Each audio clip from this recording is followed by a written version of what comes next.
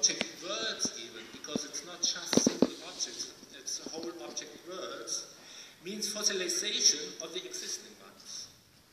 It is a process in which, because of the speed of the innovations, older generations of technologies and of experiences get faster and faster disconnected from the present.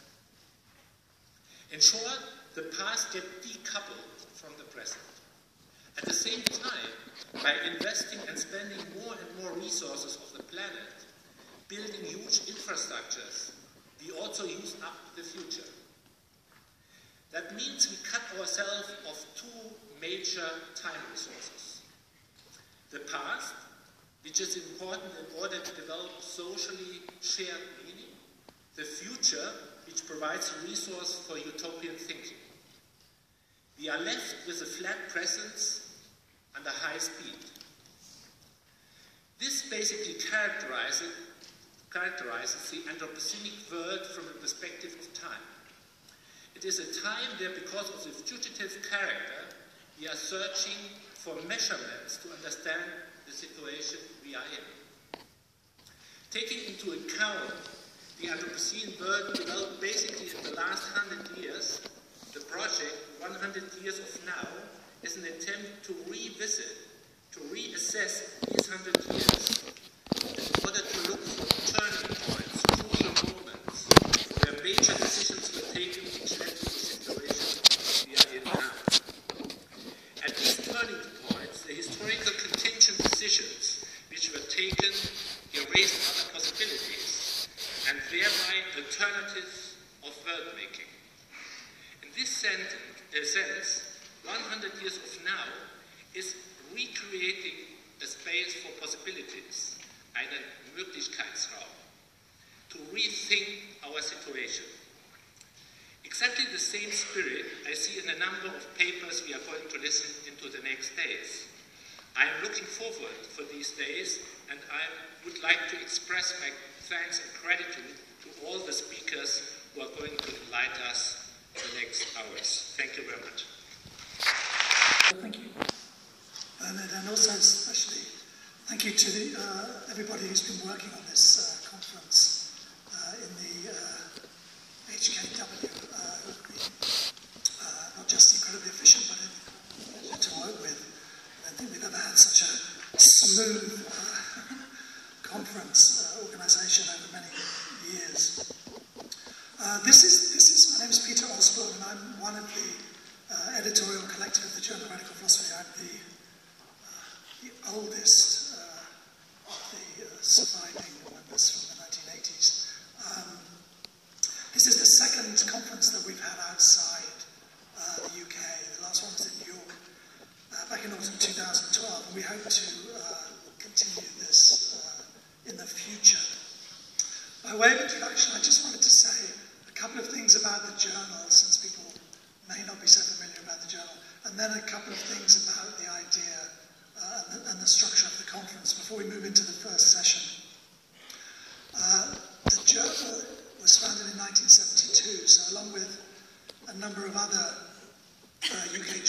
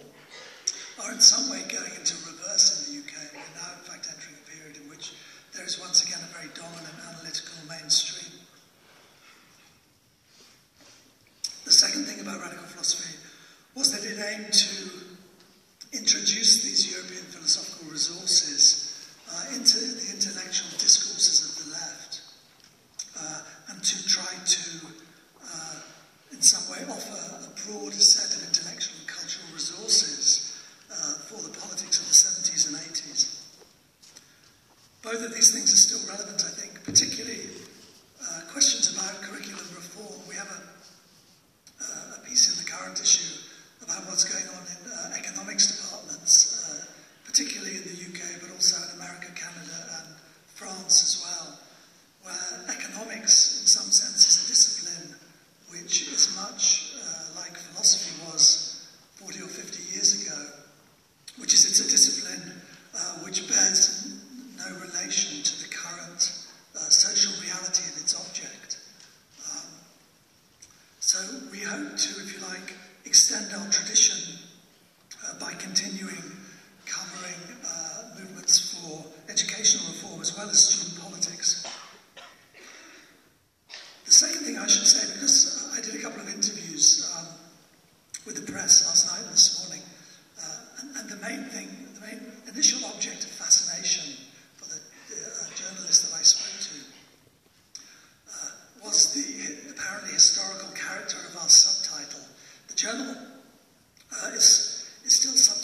journal of socialist.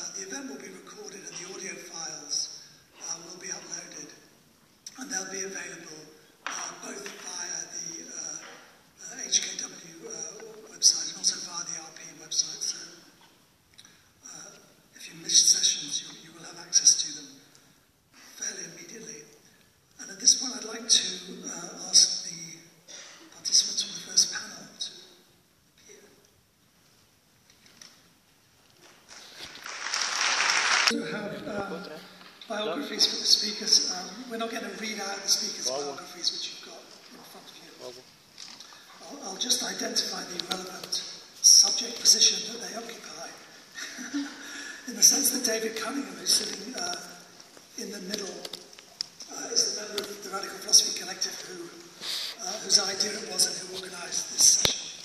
Um, Frank uh, sitting to his right, uh, is the, uh, the Berlin representative in our arbitrary triangulation of discussions. Uh, and Nina is in the, uh, the everybody else position. That's Nina Power,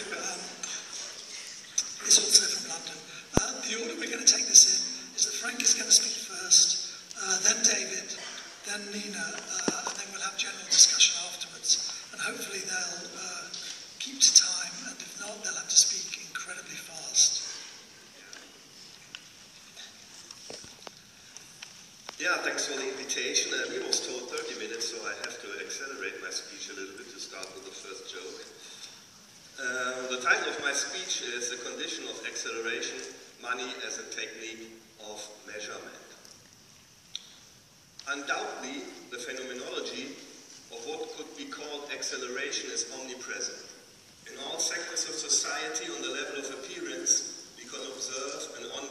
But this raises a question, is there an underlying logic which appears in the phenomenology of acceleration?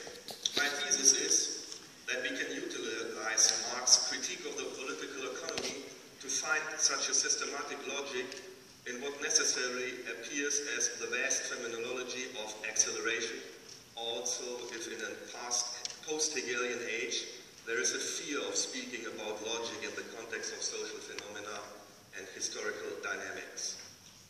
Moreover, I hold that not only there's a logic of acceleration, but we can also find its starting point in Marx.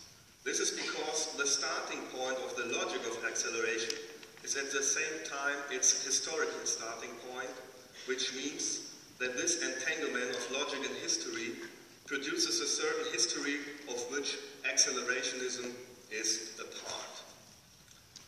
This entanglement between logic and history must be taken as immediate as possible, since this entanglement, and this will, not, will be my thesis for today, lies in the logic to measure productivity by time.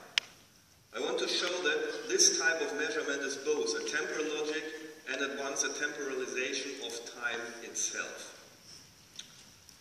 I want to use this logic of me measurement to develop what I think is missing in the actual debate on accelerationism, which is so astonished by the phenomenology of acceleration that it can't see the condition of its constitution.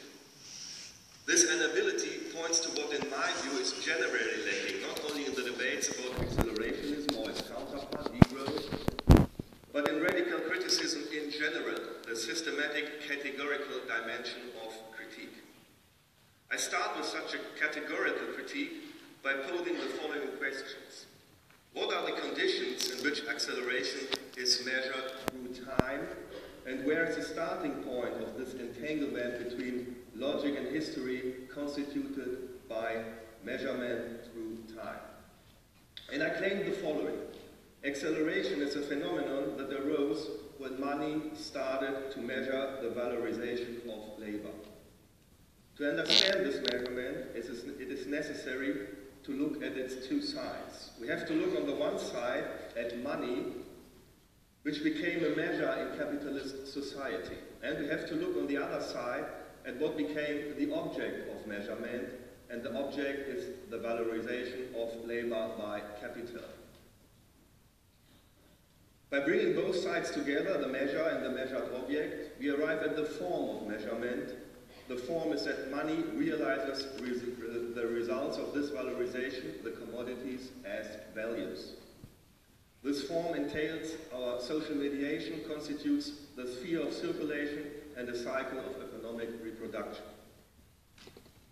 These three basic elements of a measuring process, the measure, its object, and the form of measurement, could ground a whole theory of acceleration, starting with the valorization of labor and capital, going to the form of real, realizing its products as values for money, and returning the, these realized values to the valorization process in which money, which money metaphorizes back into these realized values.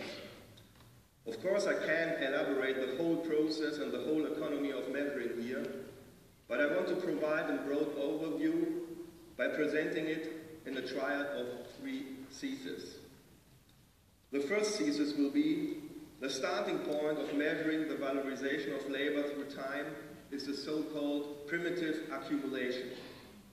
The second will be money became a measure of this valorization, quantifying it and constituting an abstract and valorized time. And finally, the third, by changing this relation between labor and capital, that, uh, its, its productive power can be increased, and in the last instance, it is this change that appears as the phenomenon of acceleration. If this triad, seems very dense and complicated, we should keep in mind that it is merely presenting our everyday life, the technique inside our own economy and its acceleration. So if I had to write an accelerationist manifesto, I would found it in these theses. I would ground accelerationism on an economy that measures itself through time and write an economic instead of a political manifesto. Okay, so much to frame the economy of measurement. Let's start with my first thesis, which concerns the logical and historical starting point of measurement and acceleration. It holds that capitalist society is radically different from all former societies because it is the only society to possess a valorization process. This process started with what Marx defined as so-called primitive accumulation. What is this primitive accumulation? According to Marx, to initiate valorization, a separation was decisive, namely the separation of the producers from their means of production. This mostly violent separation was decisive because the relationship between producers and their means of production were transformed into something totally new and different in the whole history of humanity, a process of social production as a relation between two elements of value. Now, on the one side of this totally new relation, producers are commodities who sell their labor time. To be exact, the labor force sells their capability to produce more value than they themselves need for their reproduction. Because of this capacity to produce more or surplus value, Marx calls the labor force variable capital. And on the other side, the means of production also enter in the valorization of this labor power as a value. They enter as value simply because they themselves are already of labor and therefore have already certain values. But in contrast to the labor force, the means of production don't produce new value. On the contrary, during commodity production, they transfer their own already produced values to the produced commodities. This is why Marx calls the means only constant capital. So strangely, there's no acceleration so far on the side of the means of production. On the contrary, there is only a continuity. We see already what is important for our interest in acceleration. This relation of labor and its means, when taken as variable and constant capital, is a temporal relation, as is already implied in the terms variable and constant. Irrespective of their differences, concrete acts of labor, peasant work, industrial work, and material work, and as different means of production, tools, machines, programs, as pure values, they both incorporate and reify time. The labor force on the one side incorporates living, present labor time, and the means of production on the other side are already spent dead labor time. So the liberation created by primitive accumulation was also the establishment of a kind of self-relation between living and dead labor of the present and the past of our labor time. Perhaps we can even turn this around. It is time itself that enters into a self-relation through these two elements. All the labor forces and all their means of production share and divide the same time, but they build two different classes of time the class of present and the class of past labor time, the labor forces subjectify and embody present time, and the figures of capital objectify and reify the past of this present. This leads to my second thesis, which is that exactly this relation became the object of measurement, and to measure this relation became the specific capitalist function of money. Whatever money was in pre-capitalist societies, in capitalist society, it measures the valorization process that started by primitive accumulation. It not only measures and realizes its results, which is the value of all the various commodities, in doing so, it also determines and establishes the decisive magnitudes for the valorization of these two elements. On the one side of labor, it establishes the average necessary labor time and on the side of the employed capital, it establishes an average profit and builds a profit rate. However, this may. To grasp it, one fundamental con condition needs to be understood. Prior to the temporal relations of labor and capital, and prior to its measurement, is that money quantifies. Quantification is an a priori for our capitalist society because by quantifying, money gives time. Money gives time in the strong sense of a gift, and it gives time even in a twofold. Firstly, it gives time as a universal measure, and secondly, this time is always already given as an abstract homogeneous time because of its quantification. Putting the two together means that the quality of a negative, pure identical or self-identical time is given by its quantification. Therefore, money always gives time in a finite way, and thanks to my first thesis, we know now what is given in this finite quantified time. The quantity is determined by measuring the productivity of the relation in production. The quantities money presents are in the last instance the relation between living and dead labor that money is giving us by quantifying their results, results or we can even say is giving us back. So money not only transfers and maintains quantitative magnitudes in time, it maintains and transfers time itself in a quantitative way, giving us a specific and socialized time resulting from the relations between our labor and the employed capital. In sum, money converts time into quantity and vice versa, it converts quantity into time. However we understand this conversion, it is impossible to establish an economy of time without money because time is not out there, it is not a natural resource we can harvest and use. It's the other way around. time as an identical quality is transformed into a resource by quantifying, and it is exactly this quantifying that is harvested and physically manifest in money. With this conversion of quantity and time, money constitutes a whole economy of time. It is as if money uses to measure a productive process that exactly because of that measurement enters into relations of time.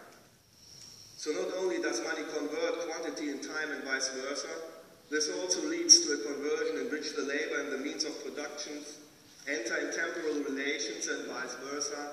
Time relations are embodied in these labor forces and in this means building a relation between present. These time relations are decisive because the productive power of our capitalist society lies in them. Consequently, the increase of productive power must also lie in these relations, and this increase is what we can call acceleration. This leads to the third and last thesis. To increase productivity, hence to produce acceleration, we have to change the relations of production. According to Marx, this comes about simply by reducing the labor time necessary for the production of commodities. All the machines and tools, all the techniques and programs on the side of capital are reducing labor time necessary for the commodity production, and this appears as increasing productivity and acceleration. This sounds simple and logical, more commodities or more output. But the crucial point is tricky and often overlooked. Pro productivity is not increased by more or better commodities per time. This would be the same positivistic view that doesn't see a temporal relation in labor and its means of production. Consequently, when we see in the figure of labor and capital a temporal relation, then we have to find out what the reduction of labor time means for their relation. Why is it productive for this relation and its circles to reduce labor time and to produce more per time? According to Marx, it is productive because it reduces not only the values of the commodities produced, but with this, it reduces the cost of the one and only productive commodity, the labor force itself. This particular commodity and its costs of reproduction is a crucial lever for productivity. The commodity form of our labor is, as I said before, the decisive variable part in the whole economy of time. All our means and the techniques that seem to increase power and that seem to accelerate are not productive because although we can produce more or better things with them, they are productive because we are reducing reproduction costs for the labor force. The labor force not only determines in all the produced commodities its own value, it determines also the value of its means of production, the same means that provide these labor forces with productive power and that increases power. But this reduction alone is only half the truth of productivity and acceleration. The other half is that reducing the reproduction costs of the labor force sets time free for surplus labor time. Called the surplus labor time surplus value, or when it's realized, profit. And it is this surplus time that in capitalism gets exploited. It gets exploited, but this time gets first of all, before any capitalist can appropriate it, exploited by money. Money then not only measures the, rela the relation of present and past labor time, as I have stated until now, it also exploits this reduced necessary labor time, winning it as surplus time in a pure quantum. However this may function, what must fascinate us is that in capitalist society, Money obviously exploits a certain quantum of time and holds it identical in time. This time is won and doesn't get lost, but this is exploited time remains in time only when it returns to the valorization process and expands it. Money only maintains this quantified surplus time when this quantum gets con converted again in the two elements of valorization expanding their reproduction. This expansion occurs not only quantitatively, but also qualitatively by finding new and better forms to embody the relation between present and past time.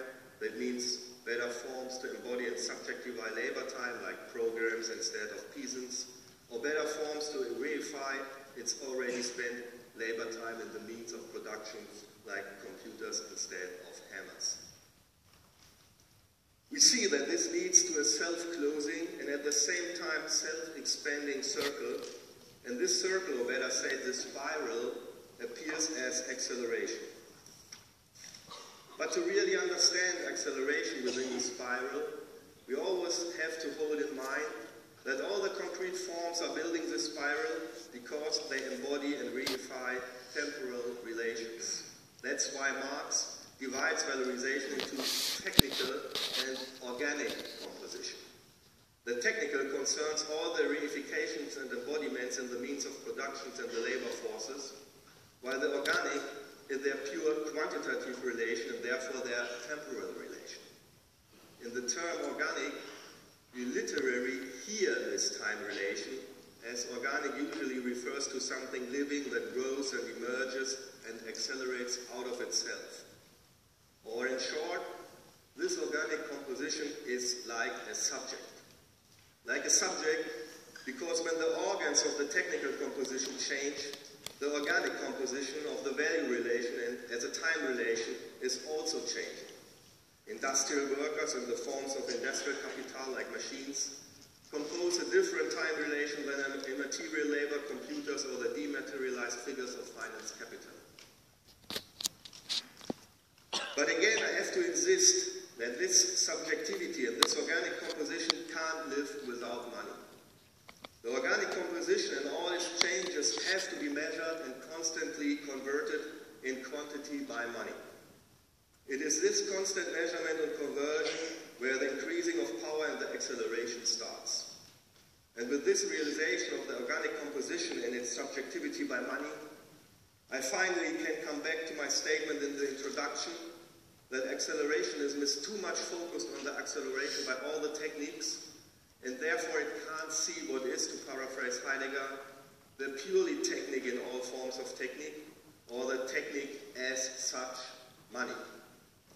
Money is a purely technical in all, in the whole economy of time, all the other technologies of tools or machines or programs are productive and accelerate because they reduce time, and with this reduction it is possible to produce surplus time and use the surplus time to expand our reproduction.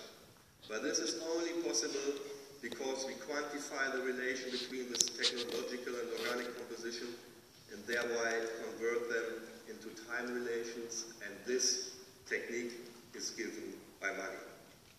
So in my conviction from this logic to measure with money through time and to convert time and quantitative relations, we could reconstruct the logic or the technique in the phenomenology of acceleration. And we could draw further important consequences to understand acceleration consequences, which I only can mention briefly here in conclusion.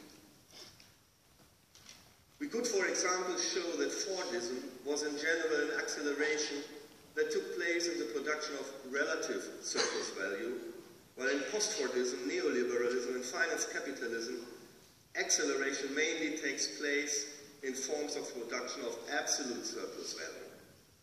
Thus, in the last decade, there was a shift from more civilized forms of exploitation, as Marx called the forms of relative surplus production, to the uncivilized forms of the absolute value. It is also a shift to less productive forms because the production of absolute value is based on the extension of the number of labor forces, the extension of their labor time, and on worsening their wages, as or we could show that the quantified first nature is productive and accelerates because it enters into the quantified second nature of our society and its valorization process. Meanwhile, not only the quantification of nature enters in our quantified economy, the same goes for digitalized codes and programs. And even the future gets valorized and enters right now into our economy and accelerates finance capital and the credit system valorize the future in such a way that they anticipate a future valorization and a future profit that exactly because of this anticipation has to occur and that has to be activated and mobilized. In other words, right now we are in debt by a valorized future from which we bought time and into which we therefore have to enter. The future is not unwritten. And we could also show that acceleration is, as I tried to show, temporalization by measuring through time. But for this temporalization, time itself must remain timeless. So we will never escape